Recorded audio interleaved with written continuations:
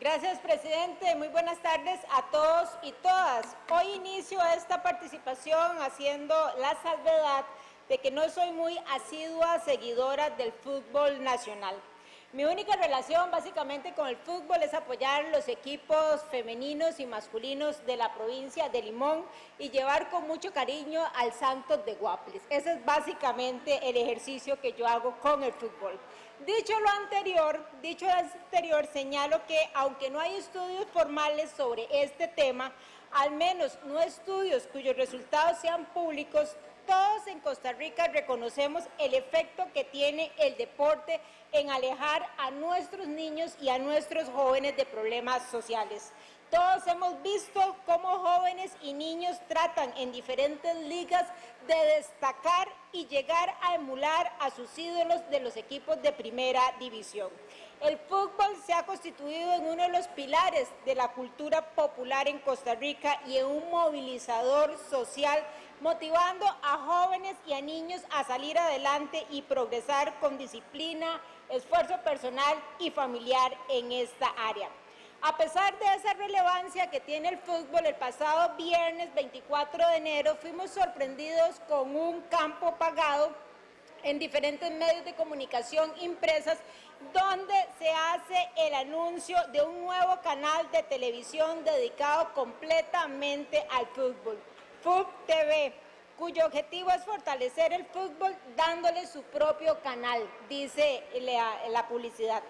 Una propuesta de negocio que deja por fuera al 47% de los hogares costarricenses y que sin duda alguna me parece no fortalece el fútbol, sino más bien viene a abrir y a establecer una odiosa brecha más de acceso a los costarricenses a disfrutar y a conocer sobre los partidos de fútbol.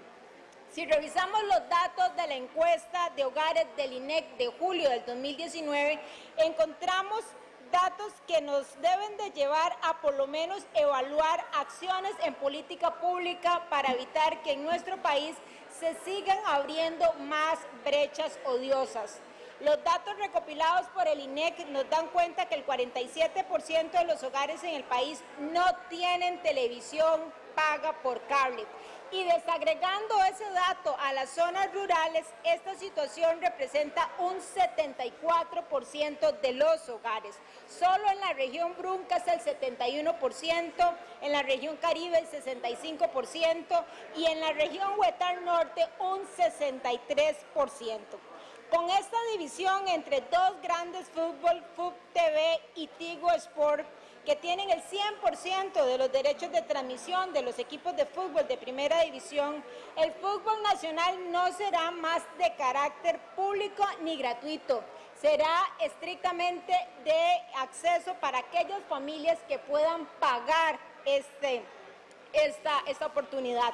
Aunque pareciera que esta práctica se ha venido extendiendo en América Latina como modelo de negocio, no podemos permitir que esto suceda en Costa Rica, en un país que siempre ha hecho las cosas de manera diferente, garantizando un modelo solidario y garantizando el acceso de las personas de menores ingresos a los servicios de información, al deporte, la educación, la cultura y las tecnologías digitales.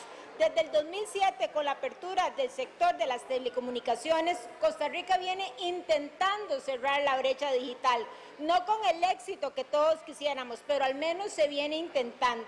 Se vuelve impostergable entonces abrir nuevas brechas, en este caso para el acceso de los ciudadanos al conocimiento y a la información. Perdón, se vuelve impensable entonces abrir nuevas brechas, en este caso para el acceso de los ciudadanos al conocimiento y a la información.